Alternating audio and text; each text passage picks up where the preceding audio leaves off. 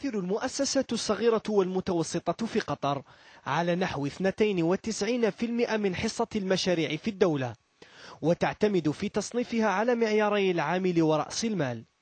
فالصغيرة منها هي التي لا يقل عدد عمالها عن الثلاثين ورأس مالها عن مليوني دولار والمتوسطة لا يقل عمالها عن ستين ويتراوح رأس مالها بين مليونين وستة ملايين دولار ويظلها جهاز برأس مال قدره ملياري ريال قطري.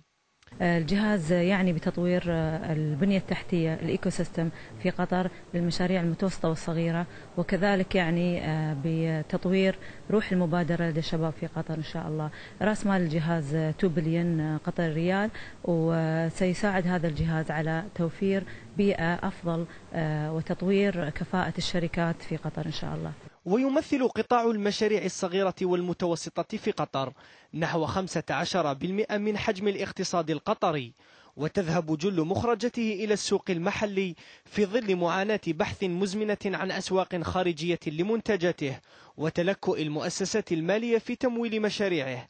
ما أبقى تمويلات القطاع عند 5% من حجم المحافظ التمويلية للبنوك القطرية وبما لا يزيد عن 150 ألف دولار للقرض الواحد. إحنا المشاريع اللي تقل قيمتها عن 15 مليون عادة ناخذها عن طريق برنامج الضمين. المشاريع اللي أعلى من هذه نتعامل معها تعامل مباشر عن طريق بنك قطر للتنمية. الحمد لله موجود كثير من المشاريع في ال pipeline. أنا لا يحضرني الرقم حاليا على كم مشروع تم تمويله إلى إلى اليوم ولكن هناك عدة مشاريع تم تمويلها.